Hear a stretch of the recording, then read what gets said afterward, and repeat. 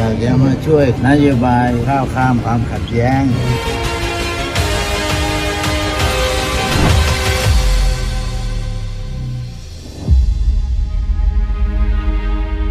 สู้ไม่สู้ ลุงแอด ลุงป้อม จูงมือท้ารบอีสานใต้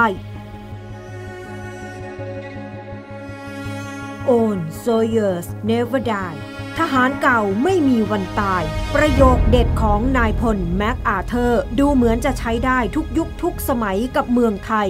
แล้วยิ่งเห็นภาพการเปิดตัวบิ๊กแอดพลเอกธรรมรั อิสรางกูล ณ อยุธยา อดีตรองนายกรัฐมนตรี และรัฐมนตรีว่าการกระทรวงกลาโหม สมัยรัฐบาลทักษิณชินวัตร เข้ามาเป็นคณะทำงาน ด้านยุทธศาสตร์การเมืองของพรรคพลังประชารัฐ ยิ่งตอกย้ำวลีเด็ดของนายพลแม็กอาเธอร์ แม้อายุอานามของบิ๊กแอดวันนี้ 84 ขวบปี แต่อย่างที่ลุงป้อมบอกถึงแม้จะอายุมาก แต่ไม่ได้มีความสำคัญเทียบเท่ากับสมอง จึงเห็นภาพทหารเก่าวัย 77 และ 84 จูงมือกันเข้าสนามการเมือง ท้ารบแดนอีสานใต้ ซึ่งเป็นสนามถนัดและคุ้นชินที่สุดของบิ๊กแอดหากย้อนไปในวัยที่โลดแล่นในแวดวงการเมืองของบิ๊กแอดเมื่อ 20 กว่าปีที่ผ่านมา ภายใต้เสื้อทีมไทยรักไทยทำผลงานได้ดีในพื้นที่บุรีรัมย์สุรินทร์เพราะพื้นเพเป็นคนอีสานด้วย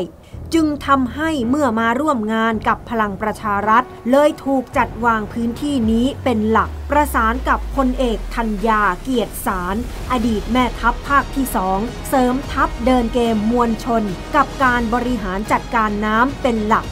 การเปิดตัว บิ๊กแอ๊ด ครั้งนี้แม้ว่าจะเป็น big surprise ไม่น้อย แต่ในทางการเมืองก็ไม่สร้างแรงสั่นสะเทือนมากนัก เป็นเพียงสีสันให้การเมืองได้คึกครื้นขึ้นมาบ้าง เพราะอย่างที่ทราบกันดีว่าบ้านใหญ่ต่างๆ ที่เคยสังกัดพลังประชารัฐต่างตบเท้าหนีไปซบค่ายอื่น จนแทบจะเกลี้ยงพัก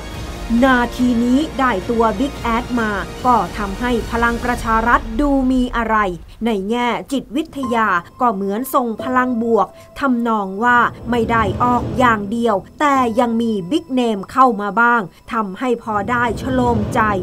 ที่บอกอย่างนี้ไม่ได้ปรามาสฝีไม้ลายมือรุ่นลายคราม แต่เพราะพิเคราะห์สนามที่จะเข้าไปท้ารบแล้วนั้น ทราบกันดีว่าสนามช้างบุรีรัมย์บ้านครูใหญ่ชิดชอบ อย่างรากฝังลึก ส่วนสีสะเกตค่ายภูมิใจไทยก่อสยายปีก ซื้อตัวจากเพื่อไทยเข้ามาเติม ให้แน่นปึกเข้าไปอีก ขณะที่สุรินยังเป็นพื้นที่สีแดงของพรรคเพื่อไทยอย่างแน่นแฟ้น และอีกอย่างสอสอเก่าแต่ละค่ายก็ลงพื้นที่หาเสียงกันมาก่อนที่จะยุบสภา ในขณะที่พลังประชารัฐได้ตัวขุนพลมาในช่วงเกือบท้ายเกมแล้ว ดังนั้นจะปั่นแต้มได้ทันหรือเปล่า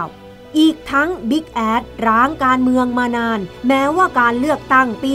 62 จะถูกเสนอเป็นแคนดิเดตนายกรัฐมนตรีของพรรคเพื่อชาติไทย แต่ไม่สร้างความฮือฮาให้คอการเมืองสักเท่าไหร่ถ้าเป็นมวยที่แขวนนวมไปแล้ว การกลับมาขึ้นสังเวียนก็อาจจะแพ้ให้กับมวยที่ซ้อมอยู่ตลอดเวลา แม้ว่าทางมวยอาจจะเก๋ากว่า แต่ก็แพ้แรงฟิตกว่าได้เหมือนกัน หรือถ้ามองในรูปเกมคอนเน็กชันระหว่าง Big Ad กับทักษิณชินวัตรเพื่อมาช่วยต่อรองเป็นมือประสาน คงต้องย้อนไปช่วงรัฐประหาร